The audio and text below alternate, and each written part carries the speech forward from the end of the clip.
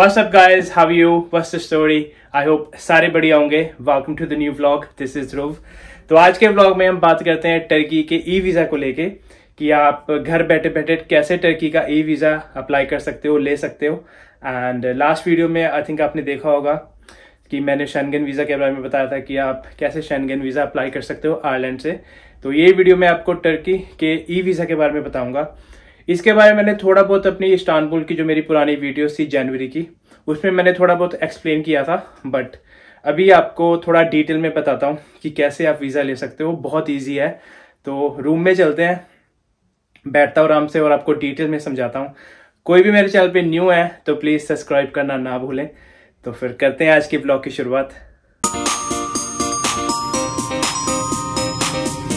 तो हाँ जी, बात करते हैं टर्की के ई वीज़ा के बारे में कि अगर आप आयरलैंड में रहते हो, अगर आपके पास valid G N R B card है या आपका आई आर पी कार्ड है तो आप घर बैठे बैठे कैसे टर्की का ई वीज़ा अप्लाई कर सकते हो अगर आपने घूमने के लिए जाना टर्की आई थिंक काफ़ी लोगों को नहीं पता है कि अगर उनके पास कोई भी, किसी भी यूरोपियन कंट्री का रेजिडेंस परमिट है या फिर यूके का तो आप टर्की का ई वीज़ा अप्लाई कर सकते हो on non EU passport and कैसे आप घूमने जा सकते हो Turkey without even you have to go in to the Turkish embassy तो एम्बेसी जाने की कोई ज़रूरत नहीं है, घर बैठे बैठे हार्डली दो से तीन मिनट लगते हैं।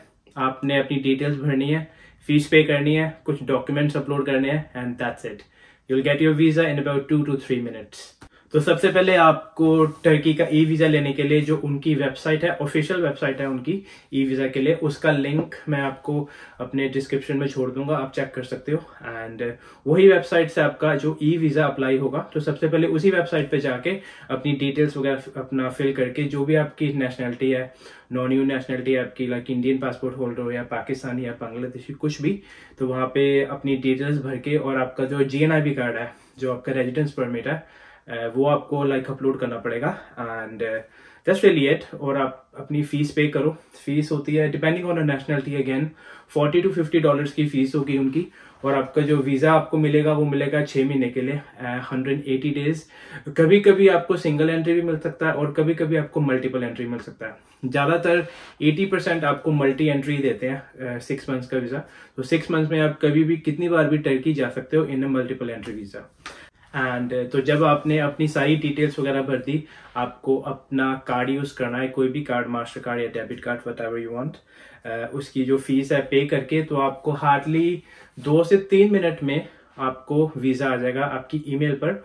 वही आपने प्रिंट करके हार्ड कॉपी लेके जानी है वेन एवर यू फ्लाइंग तो जब आप लैंड करोगे टर्की में, जो लाइक इमिग्रेशन ऑफिसर होगा, वही आपका वो वीज़ा देखेगा your passport your return ticket is well and your hotel accommodation तो ये तीन चार चीज़ें आपको मस्ट चाहिए चाहिए when you travelling to Turkey तो दैट्स रियली इट तो मेक श्योर करना भाई लोग कि जो आपका जीएनआरबी कार्ड है, जो आपका आईआरपी कार्ड है आयरलैंड का वो वैलिड होना चाहिए। उसी के बेस पे ही आपको टर्की का ई वीज़ा मिलेगा। उसी के बेस पे आप एलिजिबल हो टर्की जाने के लिए without even going in to the Turkish embassy और ये जो टर्की का ई वीज़ा है, ये खाली आयरिश आईआरपी कार्ड पे नहीं, ये किसी भी कंट्री का मतलब किसी भी यूरोपियन कंट्री का आपके पास रेजिडेंस परमिट है या फिर यूके का रेजिडेंस परमिट है उसके बेस पे आप टर्की का ई वीज़ा अप्लाई कर सकते हो।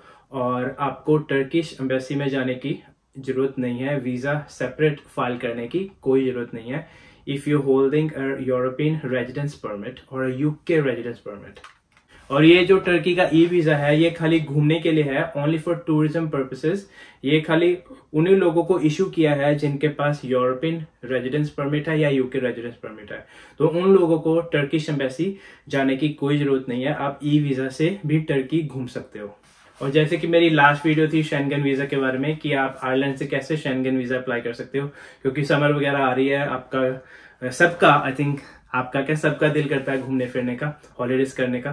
तो शेनगन वीज़ा कैसे अप्लाई कर सकते हो आयरलैंड से? बट टर्की का भी ऑप्शन है। मैंने तभी ये वीडियो टर्की ई वीज़ा के बारे में बनाई है कि कोई भी नॉन यू पासपोर्ट किसी के पास यूरोपियन रेजिडेंस परमिट है without even attending in to the embassy आप अपना टर्की का ई वीज़ा अप्लाई कर सकते हो और घूम सकते हो टर्की भी।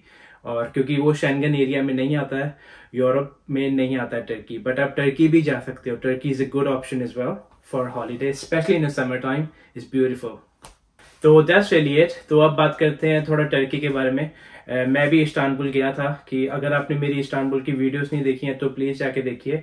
मैं भी वहाँ पे चार से पाँच दिन रुका था और एवरी डे हमने डिफरेंट डिफरेंट साइट एक्सप्लोर करी थी क्योंकि Istanbul is a big big city बहुत बड़ी सिटी है and Istanbul has two sides one is European side one is Asia side तो दोनों साइड्स बहुत ही खूबसूरत हैं। और सबसे मेन बात टर्की की ये है कि वो सस्ता बहुत है। If you spending in euros तो बहुत ही सस्ता पड़ेगा आपको।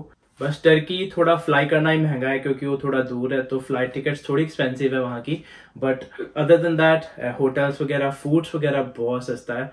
आपको इतने पैसे नहीं लगेंगे आपके उस पर इवन टैक्सीज बहुत सस्ती है मेट्रो बहुत सस्ती है बिकॉज़ टर्की करेंसी इतना ज़्यादा स्ट्रांग नहीं है।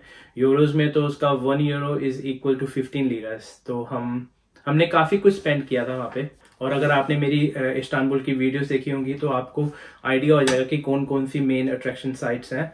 और दोनों साइट्स जो एक European side of Istanbul and जो like Asia side of Istanbul दोनों में आपको कंपैरिजन भी दिख जाएगा। और बहुत अच्छी है फेरी राइड है, बहुत अच्छी आधे घंटे की from the one end to the other end तो आप अच्छा खासा मतलब आप अच्छा ट्रिप इंजॉय कर सकते हो इस्तानबुल में।